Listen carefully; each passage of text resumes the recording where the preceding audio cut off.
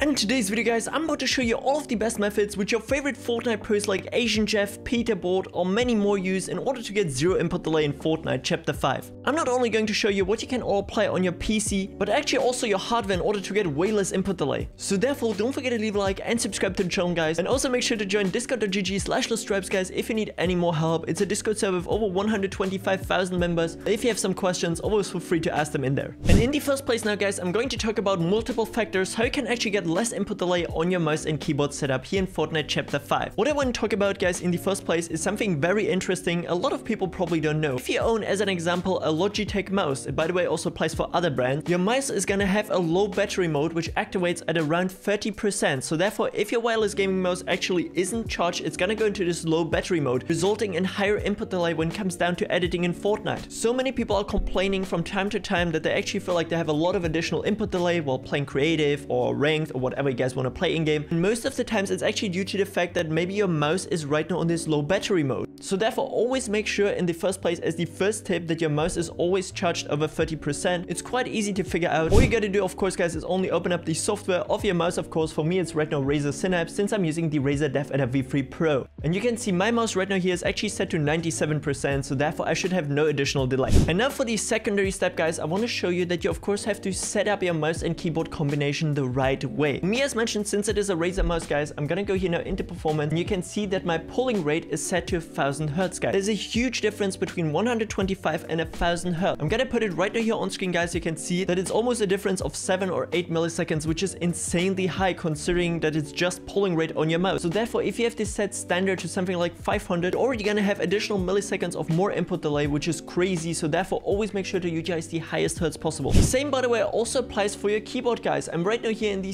SteelSeries GG hub and you can see for my Apex Pro Mini I can actually put my current actuation point all the way down to 0.1 millimeters which is of course a lot faster than utilizing something like 1 millimeter or 1.5 which is actually mostly common on a lot of mechanical gaming keyboards. So therefore if you have a Wooting 60HE, Apex Pro Mini or the brand new Razer Huntsman V3 TKL you definitely should put your actuation point down to the lowest possible. What's actually also another proven point is guys that if you utilize RGB on your gaming keyboard it doesn't matter which mode guys just RGB in general you're actually gonna have a lot more input delay when it comes down to gaming. This is also why you see most of your favorite Fortnite pros actually having their RGB completely turned off because all of these modes which are right here available on the keyboard let's just say the SteelSeries Apex Pro Mini are gonna give you additional delay because the small processor unit in your keyboard has to of course also calculate all of the RGB effect and really depending on how complex they are of course it's gonna result in more or less input delay because all of these effects here these lightning effects have to get calculated in the background. So therefore, make sure to turn it off if you can, guys. Of course, your keyboard is not gonna look as flashy and fancy anymore. You really only care about input delay. Next up, guys, I'm about to leak how actually Fortnite pros make their game super smooth. I think you all noticed by now that when you spectate Asian Jeff or some other pros, the game actually looks a little bit less lower quality than on the performance mode or actually available in Fortnite. And I'm quite sure you all guys know the potato mode, which I just reviewed a couple of days back, guys. We can basically make your game look super bad in order to boost your FPS. What I'm about to say now is, guys, that there's actually a mode where you actually put your graphics a tiny bit lower than the lowest possible settings in Fortnite directly and all you need for it is the NVIDIA Profile Inspector. I already made a whole entire preset for you to just apply into this tool guys and you already have it enabled. The advantages are of course that everything is gonna be super low quality and especially textures and objects will still look a little bit less quality than the lowest preset in-game but your resolution is still gonna stay on 1080p or super sharp, better said 100%. And that is as well the advantage why pros actually use this profile instead of actually lowering their 3D settings. But I'm about to show you exactly how to apply this. So guys, and all you need in order to actually apply this NVIDIA profile profile which is gonna give you this super low graphics mode is the NVIDIA Profile Inspector. You can find it on my official website guys, link to it in description, also on discord.gg slash stripes. And also on the website guys you're gonna find this zero delay profile. And this exactly already now here the profile with all of the best settings which you gotta have here for Fortnite already pre-installed. Already pre-applied for you so all you guys gotta do is import the profile all you get it in the first place is search up Fortnite here on the top bar, guys. Just to make sure that it's actually selected here and it should say then Fortnite Client Windows 64 Shipping accent should be green and should also be showcased here entirely green on the top bar. And then you can see, guys, I actually already pre-applied here a few very specific settings which are gonna give you this low graphics mode. Your game is just gonna get rendered with a super low detail quality, but your resolution is still gonna stay super sharp on 1080p. And that's exactly why this profile is so insane. And all you guys gotta do is click here on this top bar onto import user defined profiles, click the import profile profiles and then select the zero delay one. Just simply click under OK and everything is now already here imported and fully applied and all you gotta do is click on apply changes. If you want to swap back to how Fortnite looked normally guys, that's also super easy.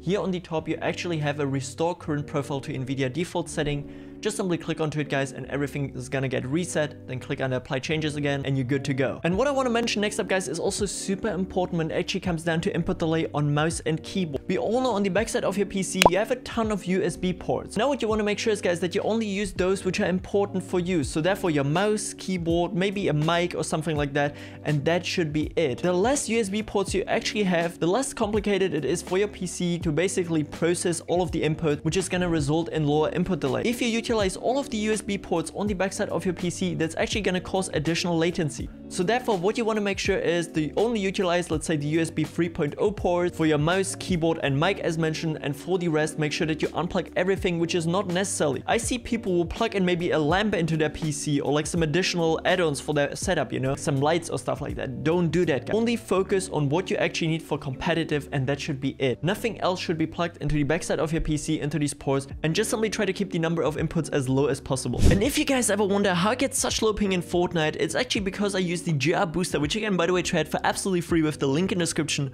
Even Mero, the FNCS winner, is using it, and it's basically making sure that you have the least amount of ping in Fortnite. You can see guys, right now I only have 9 milliseconds of latency, which is insanely low, and already improvement of 64%. What this tool basically does in the background, it has this adaptive intelligent routing, which is going to search actively even while playing for the best DNS server in your near, ensuring that you have the least amount of latency. GearUp Booster even gave me a bunch of codes to give away guys, so therefore just send me a DM over on Discord that you have this tool installed and I'm giving it away to random people. Next up guys, we're now also going to be utilizing a tool which is going to be called Filter Key Setter and this one is amazing to reduce the input delay on your keyboard even more. You can by the way get the whole entire file on discord.gg slash the stripes and just simply go into the search bar and type on that filter until you can find filter keys and settings. From there you can get it guys. By the way, there's a normal warning on any Discord whenever you're trying to share files so therefore don't worry about it. And once you get it from the Discord, this is how it should look like.